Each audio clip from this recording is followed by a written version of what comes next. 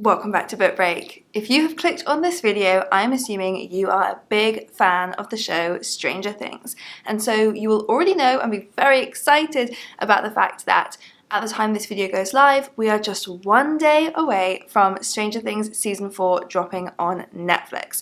So to get in the mood, I have compiled a list of 13 books for fans of Stranger Things. So the vibe check here for Stranger Things-esque books is 80s nostalgic, mysterious, supernatural sci fi horror, investigative drama. We're talking Stephen King, Steven Spielberg, H.P. Lovecraft esque, also anime and retro video games vibes. So that is a very hard brief, but here is what I've pulled together starting with The Body by Stephen King, which is the novella that the movie Stand By Me was based on. So loads of 80s nostalgia here, even though the book and movie are actually set earlier in time, they were a big thing in the 80s.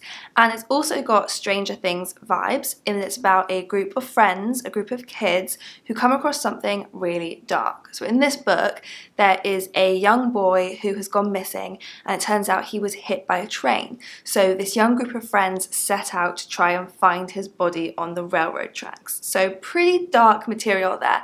And the book is narrated by one of the main characters, Gordy, looking back on these events from adulthood. For something spookier, I recommend Leech by Hiron Ennes, which is gothic science fiction horror and it's really, really weird.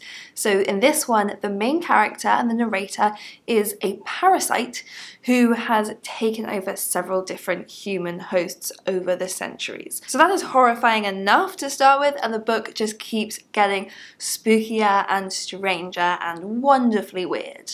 Stranger Things is pretty H.P. Lovecraft inspired, so the third book I'm going to recommend is Lovecraft Country by Matt Ruff. This is a dark fantasy horror retelling that uses Lovecraftian creatures, but in a clever twist makes racism the scariest villain of all in the book.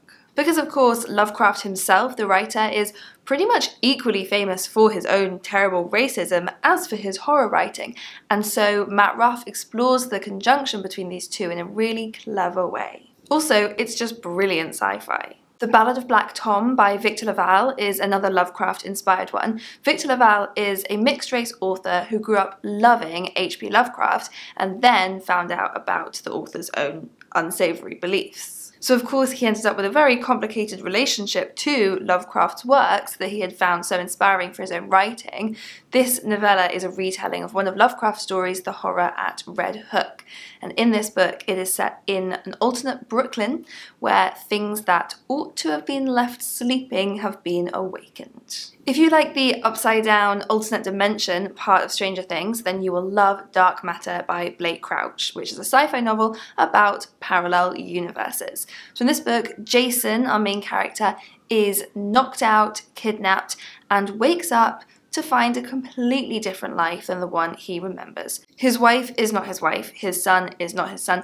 It seems that he dreamed up his entire life. And in the process of trying to find his way back to the life that he remembers and the family he loves, he uncovers a truth even more terrifying and mind boggling than he ever could have imagined. So, this book will hurt your brain in the best way. A Skinful of Shadows by Frances Hardinge has a main character a bit like Eleven. She's a girl called Makepeace, a very courageous girl with a mysterious past, but also with a ghost inside her. She has been possessed by a spirit, and not a human one. But as well as being a story about a possession, a story about a haunting, the book is also a dark historical fantasy set during the English Civil War with plenty of mystery and intrigue and spies. For that unique blend of horror and emotion that you get from Stranger Things, I would recommend Our Wives Under the Sea by Julia Armfield, which is a beautifully strange novel. It's about a married couple, Leah and Miri, and it's told before and after a deep sea diving mission that Leah went on that went mysteriously wrong. We don't know what happened, but Leah has come back not the same. So we flash back and forth between hearing Leah's perspective as she goes down on this mission and things start to get terrifying, and then we also hear Miri's perspective in the aftermath of this, trying to deal with what has happened to her wife, and it is this otherworldly change that has happened. It's really, really beautiful. It's very melancholy, and I think you'll love it. Then, if you like the coming of age part of Stranger Things, but set within the midst of all of this dark, magical happenings, then I would recommend White is for Witching by Helen Oyeyemi. Helen Oyeyemi is a very interesting and strange writer. I recently did a video on this channel all about her whole backlist, so I will link to that below so you can go check it out.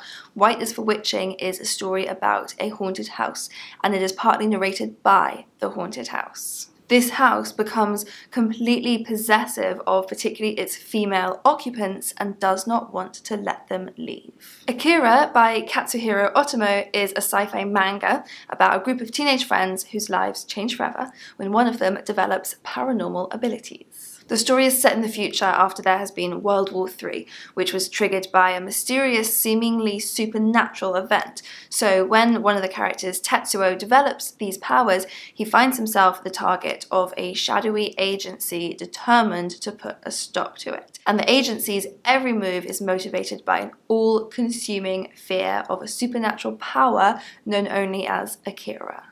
Then, of course, I have to recommend my best friend's Exorcism by Grady Hendrix. Grady Hendrix is already a bit of a booktube favourite, and this one has such strong Stranger Things vibes. It's about two teenage best friends, Abby and Gretchen, who have just started high school when Gretchen starts to act a little strange. Abby soon realizes there is only one explanation for what is happening to Gretchen. She has a demon inside her, and Abby is the only one who can help her. And you can see from the cover quite how much retro 80s nostalgia there is in this book. Ready Player One by Ernest Cline is set in the future in 2044, but it is packed full of 80s references. So teenager Wade is obsessed with this virtual reality world called the Oasis, where there are all these different puzzles set by creators for him to solve, and Wade has just found his first clue in a puzzle devoted to 80s pop culture references. Luckily, Wade knows a lot about the 80s, and so he is ready to solve these clues. But these puzzles can get seriously competitive. There are people who would kill to win, literally. Another show that Stranger Things fans tend to love is Twin Peaks, so I think you might enjoy the book series by Mark Frost, The Secret History of Twin Peaks and Twin Peaks The Final Dossier. Both of these novels dive further into the mysteries from the show, further into the backstories of the characters, and just really expand this world amazingly. And finally, for some non-fiction about some real-life stranger things that have happened, I recommend The Men Who Stare at Goats by Jon Ronson. In the late 70s and early 80s, a unit of the US military started experimenting with the paranormal. They were called the First Earth Battalion and they were entrusted with developing invisibility, psychic powers, and even the ability to kill goats just by staring at them. And they really weren't joking. So, if you love the conspiracy theories of Stranger Things and the weird intersection of government with the paranormal, then you will love reading about this truly bizarre part of history. Let me know in the comments below how excited you are for Stranger Things Season 4 and if you've read any other books that you think would be perfect for fans of the show. And a lot of the books that I've just talked about are perfect for 80s kids, so I will link here to a video I made before on books for 90s kids. So do click through and have a watch, and I'll see you next time.